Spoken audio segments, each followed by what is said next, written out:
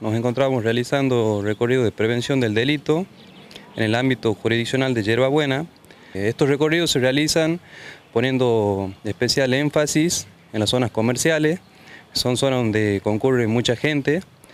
Es así que nos encontrábamos en el interior de la playa de estacionamiento del portal, donde notamos un vehículo, un automóvil Volkswagen Fox color negro con vidrios polarizados, que en el interior del mismo se encontraban dos personas de sexo masculino.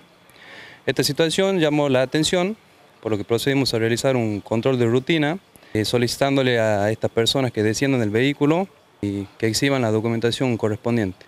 Así se notó de que uno de ellos tenía puesto una bandolera y se encontraba muy nervioso por lo que se le realizó un palpado de armas, notando que en el interior de la bandolera tenía un elemento contundente y se requirió la presencia de dos testigos civiles. En presencia de los mismos, se procedió a la apertura de la bandolera, notando que en el interior contenía un arma de fuego tipo pistola, color negra, con un cargador colocado con seis cartuchos calibre 380 y se puso en conocimiento a la Fiscalía Criminal de turno.